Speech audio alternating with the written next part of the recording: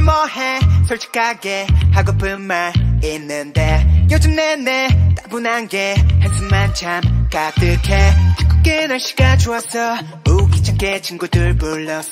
12시 땡 주머니에 핸드폰은 꺼놔